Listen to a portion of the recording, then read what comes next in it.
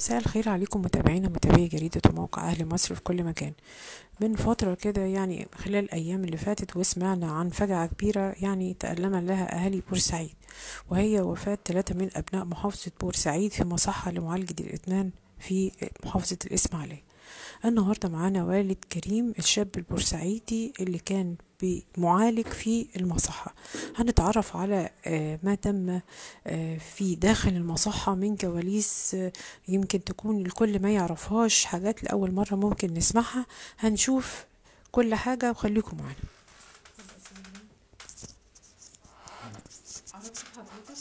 إبراهيم نور والد كريم احكي لنا عن إبراهيم كريم كان هناك بيعمل إيه هو كريم كان هناك آه، بيشتغل معالج آه، بقاله بتاع حوالي خمس سنين. وخريج إيه؟ آه، كلية حقوق بس ما كملش كلية الحقوق يعني لغاية سنة تالتة أو رابعة وعلى آخر سنة يعني. المهم راح يشتغل هناك وبقاله حوالي خمس سنين أو ست سنين وكانت الأمور ماشية طبيعية خالص. وكنت قبل موضوع الوفاة أو أو قبل موضوع الحادثة كان عامل اتصال بيا بعد صلاة العشاء وبيتكلم معايا عادي خالص وكان أنا جايب له شقته هناك في إسماعيلية. اليوم ده كان استلم يعني الشقة. أنا شاريها له أه في الإسماعيلية. آه. شغله هيبقى هناك وشغله هناك. آه خلاص. مم. كان هيتجوز في شهر خمسة. مم. فاليوم ده بعد صلاة العشاء كان خلاص بيستلم الشقة وبعت لي فيديوهات على الواتس وهو بيستلم الشقة من النقاش خلاص. وكان باقي مبلغ معين بعته له في نفس اليوم على فودافون كاش. وقال لي وكان فرحان وقال لي يا بابا أنا استلمت الشقة أهو. وشفتها على الفيديوهات اللي هو بعتها لي. وكان فرحان قوي قوي ومفيش أي حاجة. وبعد كده اللي أنا سمعته إن جه ساعة صلاة السحرم وساعة صلاة الفجر هو اللي عامل إمام أم الناس اللي موجودين وصلى بيهم هو اللي صلى بيهم الفجر. كانت الأمور ماشية طبيعية جدا. وخطيبته أما اتكلمت معاها بتقول كان بيكلمها لغاية الساعة 2 ونص. اتصل كان في اتصالات عادية وبيرتبوا له الأمور بتاعة الجواز والكلام ده لغاية الساعة اتنين ونص أو تلاتة. جيت الصبح حوالي الساعة سبعة الصبح كده. هم اتصلوا بابني ما اتصلوش بيا بأخوه يعني. قالوا له إن أخوك اتوفى في سبعة الصبح. آه. يعني بعد ثلاث ساعات أو أربع ساعات من أيوه. وهو كان نايم عادي واتصالات لغاية اتنين ونص مع خطيبته وأنا لغاية بعد صلاة العشاء. آه لقيت أخوه جاي لي لأن أخوه ساكن بره البيت وقال لي إداني الخبر قال لي ده كريم اتوفى. أنا طبعا مذهول يعني مش جالي صدمة. يعني أنا مكلمه بالليل والفرح وبعت لي على الواتس الرسائل الفيديوهات بتاعت شقته مصورها له وهو بيستلمها. أقول له كريم مين؟ قال لي جالي زوج بقول له كريم مين؟ قال لي كريم كريم أخويا على أخوه. فطبعا كانت صدمة جامدة ليا يعني. مسافرنا بقى الإسماعيلية وشفنا الأوضاع طبعا كان الكلام ده كان يوم الاثنين استلمنا الجثة يوم الأربع عقبال ما جبناها هنا. وطبعا الموقف صعب. واللي أنا عايز أقوله مبنى زي ده حتى لو ابني كان بيشتغل فيه كمعالج إزاي المبنى ده ياخد ترخيص من الدولة. أنا بوجه ندائي من المفروض إشراف آه إشراف وزارة التضامن الاجتماعي ووزارة الصحة ووزاره الداخلية. يعني إزاي يدوا تصريح لصاحب المبنى ده يعمل مصحة لمعالجة الإدمان وأقل واحد بيتعالج بيدفع مثلا 15000 جنيه في الشهر. مبالغ كبيرة. آه طيب المبالغ دي إذا ده حاجة استثمارية ده بيتاجروا في أرواح الناس. برغم إن أنا ابني كان بيشتغل وبياخد ملاليم أنا بوجه يعني كان مرتبه قليل. قليل. طبعا بالنسبة للدخل بتاعة الناس بياخد واحد خم... ده ده أقل واحد لا في 15 وفي 20000 في الشهر. المبنى كان فيه يعني ممكن كام واحد يكونوا جوه المبنى بتاعنا أكتر من آه يعني 30 40 في مبنى صغير. ده ده فرع واحد. واللي أنا سمعته المؤسسة لها أكتر من فرع في الإسماعيلية. وكانوا تقريبا سبعة اتقفل قبل كده ثلاثة رست على أربعة. يعني في نفوذ. أنا أنا كلامي التصاريح دي خدوها إزاي؟ والمبالغ دي اللي بياخدوها من الناس خدوها بيعملوا بها إيه؟ طب أنت بتدي تصريح لمبنى المبنى اللي ابني كان بيشتغل فيه كمعالج أنا كل ده ما كنتش أعرفه. ولا في أمن ولا أمان فعلا جوه. ولا في طفايات حريق. ولا في سيستم كامل عند حدوث حريق. لأن هو أنت بتعالج. الحريق كانت فاضيه آه تمن طفايات حريق. اجوا يطفوا لقوا مفيش طفاية موجودة شغالة. طيب المبنى ده ابني صلى الفجر بالناس. مفيش ساعة ساعتين حصل الحريق. طب الحريق ده اللي فوق مفيش كان ورديات مفيش نبطشيات مفيش أمن ناس آه، أفراد أمن كانوا موجودين شافوا النار وشافوا الحريقة. يعني مفيش أي حاجة في حالة حدوث حريق أو حاجة زي كده حاجة تحمي الناس اللي جوه. دي حاجة. الحاجة التانية المدمنين دول اللي بتعالجوا دول. زي المسجون بالظبط المفروض ممكن بيجي لهم حالة إن هو يوصل لحالة من الجنان. عايز يموت اللي قدامه عايز يهرب عايز يطلع من المبنى بأي طريقة لأن ده مدمن. يعني في حاجة بت بت بتعمل الخلايا العصبية بتاعة المخ طبعا أو الجهاز العصبي بتاعه بيبقى مش مظبوط. فالناس اللي زي دي بيبقى عايزة تأمين خاص أو حراسة خاصة. فين؟ أنت سايب الناس كده في الفيلا. أكتر من 27 واحد أو 30 واحد سايبهم كده. ده ممكن يطلعوا الناس يعملوا جريمة. شبه عنبر المجانين. أيوه يعني يعملوا جريمة. أنا أنا ابني نايم مثلا فوق في الدور الثالث طب ما ممكن أي حد من دول يطلع عليه يموته في أي لحظة. أنا ده ذنب ابني إيه اللي رايح يعني يساعد في معالجة مدمنين وهو أصلا مش متأمن عليه. فأنا بطالب مؤسسات الدولة تراجع الملف ده تاني. تراجع ملف اللي هي الحاجات الخاصة اللي بيعالجوا المدمنين دول على مستوى الجمهورية مش في الإسماعيلية بس لا على مستوى الجمهورية. أيوه إحنا عندنا مستشفى بورسعيد. عندنا- ما حالات آه هنا بقى النقطة. إحنا ولا عندنا المريض النفسي. يبقى ليه بقى؟ مستشفى بورسعيد لمعالجة الإدمان والأمراض النفسية تيجي يودوا لها حد ما بتقبلش حد.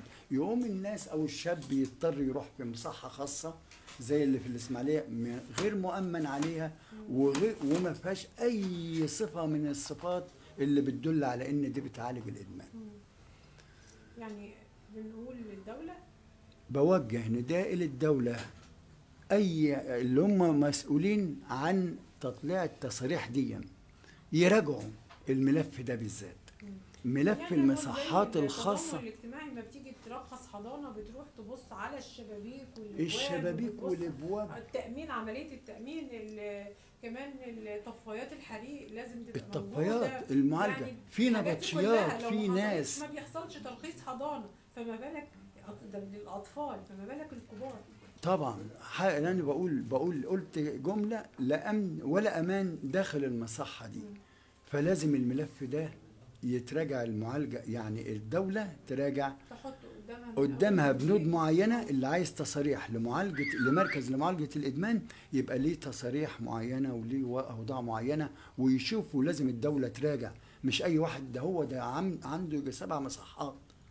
هو أي واحد يجيب فيلا ويأجرها ويقول لك أنا هعالج المدمنين وبياخدوا مبالغ كبيرة. جدا ربنا يرحم كريم يا رب ويصبركم وان شاء الله حق يرجع كده بإذن إحنا. عايزين حقه. عارفين عايز القصاص.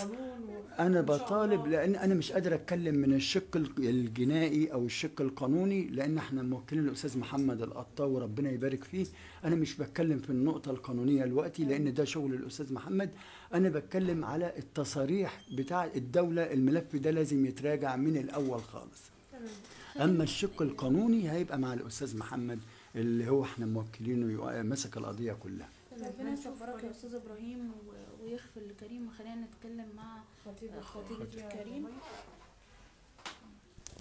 إزيك؟ عامله إيه؟ بقول الله هتكلم بقى إيه؟ احكي لنا كده عن كواليس اخر حوار دار بينك وبين كريم. هو اتكلم معايا عادي يوم الاثنين الساعة اتنين ونص.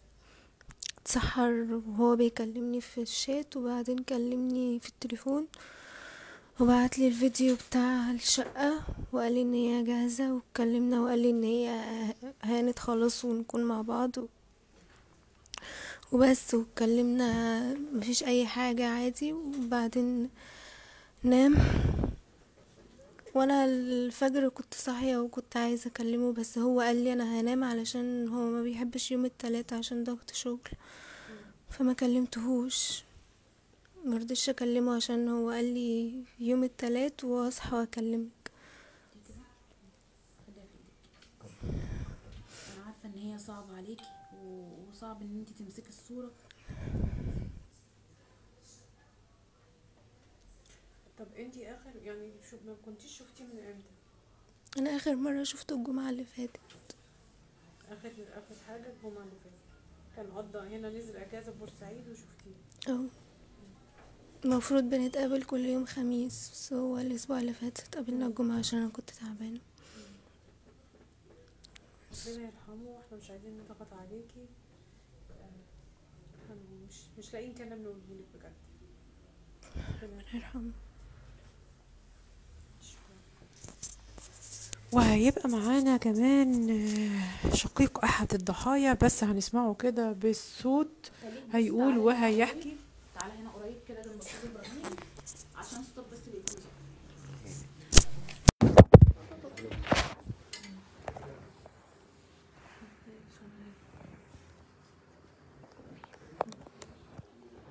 لا لا خلاص. يا بنتي تمام. ماشي مع حضرتك كمل. حابب تحكي إيه تقول؟ أحمد أخو أحد المتوفين في ال- في المصحة. يعني أنا أخويا الله يرحمه كان مهندس. آه، أنا كنت معاه قبل رمضان بثلاث أيام وكنت المفروض إني رايح أخده وأمشي. آه، المكان هناك أنا ضغطوا عليا إن هم يكمل الشهر بتاع رمضان دون.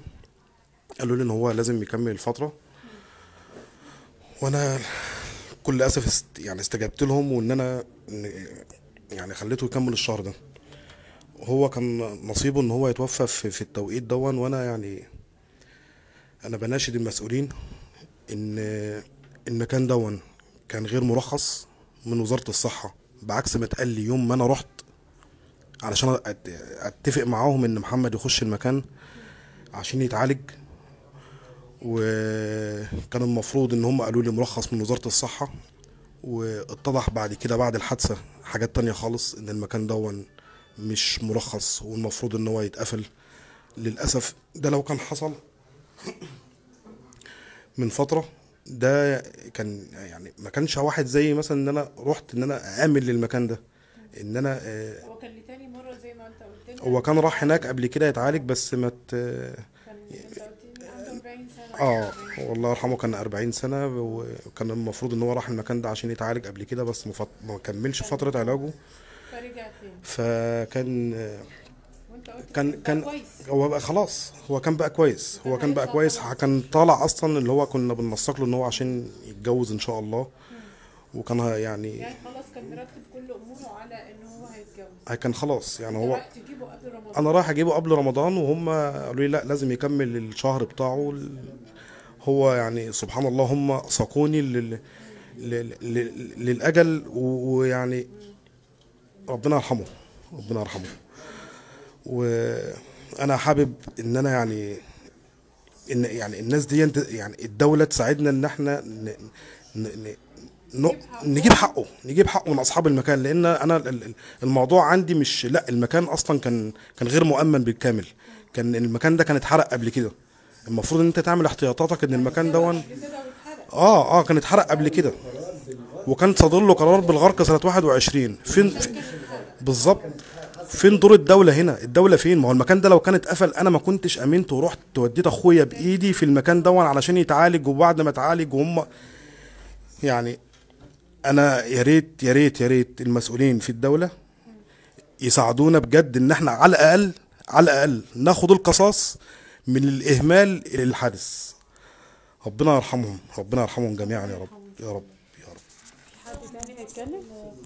بدورنا الاستاذ محمد القطاوي محامي آه خلينا نتكلم كده في الشق ال- القانوني والاجراءات اللي حضرتك أخدتها يا أستاذ طيب خليني الأول أتكلم على ملابسات ال- الموضوع وملابسات الواقع اللي ممكن آه، ناس كتيرة ما تعرفهاش. زي إيه مثلا؟ آه، دي مؤسسة اسمها مؤسسة الأصدقاء. خليني أقول لكم لأي حاجة أنا هقولها النهاردة على مسؤوليتي أنا الشخصية. آه، وبناء على التحقيقات وبناء على المعلومات برضو اللي إحنا جبناها. لكن للأسف أي معلومة قالها أهلية المتوفي إلى رحمة مولاهم اللي هم الضحايا بتوع المؤسسة ديت عرفوها بعد الواقع مش قبل الواقع عشان برضو الناس ما تقولش ده هم عارفين الكلام ده كله وليه ودوا ولادهم موجودين في المكان؟ لا. إحنا ما عرفناش الكلام ده غير ما إن النيابة هي أو أو تحقيقات النيابة تحقيقات هي النيابة هي اللي اللي وصلت لنا للكلام ده. طيب خليني أقول للمؤسسه دي مؤسسة اسمها مؤسسة الأصدقاء بيملكها يعني ناس مش هقدر أقول أساميهم لكن أنا واثق ومتأكد إن مفيش حد فوق القانون وكلنا تحت طائله القانون. ولكن خليني أقول لكم إن وأتكلم بشفافية أكتر إن المسؤولية الأساسية اللي هي المسؤولية التبعية هي مسؤولية أجهزة الدولة كلها. بمعنى إن الأماكن دي بقت شكل من أشكال التجارة وليس للعلاج. وللأسف اللي إحنا لما شفنا أساسا الورق عن طريق النيابة أو الأوراق اللي اتقدمت اتلاقينا اللي مفيش أساسا تراخيص لمكان للعلاج لا النفسي ولا علاج الإدمان. الموضوع كله شكل من أشكال الجمعيات. لا أكتر ولا أقل بتعمل ندوات ثقافية وتأهيل ولكن مش مكان مؤهل ولا مرخص من قبل الدولة. وإحنا ما رحناش مكان مستتر ده مكان معلوم ومعروف بالنسبة للدولة كلها وبالنسبة للناس. المكان ده موجود ومعروف اللي ده مصحة ومعروف اللي ده بيعالج وحتى الناس هي اللي بتدلنا تقول المكان ده آه، بيعالج الناس. جميل. وخليني أقول لك اللي أقل حاجة بيدفعها الشخص هناك 15000 جنيه لغاية لكل حالة بقى لها وضعها. فاحنا برضو بندفع فلوس عشان نعالج عيالنا ونعالج ولادنا ونعالج إخواتنا يرجعوا جثث. يعني هل وده إهمال من الدولة سواء وزارة التضامن؟ مش و... أستاذ محمد. مش المرة الأولى ولكن إحنا إمتى الدولة هتاخد بالها؟ إحنا مش عشان الناس ديت آه، يعرفوا حد أو أو آه، ليهم وضعهم أو الكلام ده. ما برضو الناس اللي ماتت دي برضو ولاد ناس. بس. وفي نفس الوقت أولا أولا الدولة أنا النهاردة كراجل لو أنا عندي شخص مدمن ودي ظاهرة موجودة أنا بناشد الأول الناس تبقى في رقابة على موضوع الإدمان. ولكن خليني أقول لك اللي شخص غلط وأدمن وعايز يبدأ صفحة جديدة. مؤسسات الدولة المفروض تقول تساعده على كده. إحنا عندنا هنا مستشفى النفسية. أتحدى والكلام ده على مسؤوليتي. اللي هم قبلوا شخص عايز يتعالج وعايز يبدأ صفحة جديدة حتى لو هو هيدفع فلوس. ما بيقبلوش ولا شخص ولا بيقبلوا الكلام ده. مستحيل مع إن إحنا عايزين نبدأ صفحة جديدة في الحياة. وبعدين خليني أقول إن الإدمان ده مش سبب آه، الشخص لوحده. إحنا برضو في عوامل. أنا الناس ديت في مهندس كان موجود بيتعالج وفي راجل كان في كلية الحقوق برضو كان بيتعالج. يعني راجل مهندس وراجل محامي مش ناس يعني أصحاب أو أرباب سوابق أو خريجين سجون. لا ده ناس ولاد ناس. لكن ناس اتخرجت ضغوط المعيشة ضغوط الحياة مفيش شغل مفيش وظيفة الأمال كلها اللي كان بيحلم بيها دلوقتي مش موجودة. فبناء عليه اتجه الاتجاه ده. جميل. بدأت صفحة جديدة في حياتي. عايزين نرجع بقى شخص سوي. بنروح المؤسسات دي وبنروح الاماكن دي اللي المفروض بالشيء الفلاني بالبلدي وبندفع 15000 جنيه و20000 جنيه و25000 جنيه ممكن لو أنا رحت مصحه وقالوا لي ياخد مني 5000 جنيه أقول لا لا دي مش هتعالج حاجة لما أروح التانية زيها وتقول لي 15 يبقى دول اللي هيعالجوا يعني إحنا أيوه صحيح إحنا نفسنا ما هو ما هو اللي هيجيب نتيجه أكتر بس هو وبعدين هو الشخص بيروح طواعية واختيارا عايز يبدأ صفحة جديدة طب خليني أقول لحضرتك إن صدر قرار بغلق هذا المكان سنة 2021 للأسف وزارة الداخلية ووزير التنمية المحلية أو وزارة التربية المحلية لم يتم تنفيذ هذا القرار. إحنا طبعا ما نعرفش الكلام ده الكلام ده إحنا عرفناه بعدين في التحقيقات بتاعة النيابة. يعني أنت النهارده صادر لك قرار بالغلق. هل أنت فوق القانون من سنة 2021 وما المكان ده ما اتقفلش لغاية دلوقتي يبقى وزارة التضامن الاجتماعي هي المسؤولة برضو لأن التصريح الرسمي منه. جميل. كان لازم الوزارة تبعت حد من المديرية اللي عندها اللي موجودة في إسماعيلية وتتابع وتشوف المكان ده تم غلقه ولا لأ. كلام جميل. مجرد إن هي ما قالتش وما عملتش وما نفذتش الغلق يبقى هي اللي تتحط تحت طايلة المسؤولية. خليني أقول لك إن السلطة التنفيذية بتتمثل في وزارة الداخلية ووزارة الداخلية للأسف الشديد ما تمتش ما تمش ده. والمكان ده موجود في حي وحي اسمه حي الأسرة. المفروض رئيس الحي ده برضو المفروض يكون ينفذ القرار ده وللأسف ما نفذوش. أنا النهارده باعت ابني يتعالج وباعت أخويا يتعالج وبداوا يفصع يبدأ صفحة جديدة. نيجي النهارده مكان غير مؤهل لا فيه دكاترة ولا إحنا طبعا الكلام ده ما نعرفوش. الكلام ده إحنا عرفناه بعد ال... الواقعة دي والتحقيقات لأن طبعا هناك يقول لك إيه لا ممنوع الدخول لا ممنوع الاتصال لا آه، مش هينفع تكلم الراجل المدمن دوت عشان هو بيتعالج فلو سمحت فبيبقى الموضوع كله سري للغاية. وال... والرسائل اللي بتجيلنا اطمن هو تمام اطمن هو تمام اطمن هو تمام. لكن إحنا ما شفناش نتيجة من مكان زي ده وللأسف المكان الأماكن دي بقت منتشرة جدا. فيلل بتتفتح تحت مسمى مصحة نفسية لا في للاستثمار لا في تراخيص بيعملوها رجال الأعمال ومفيش رقابة للأسف الشديد من الدولة.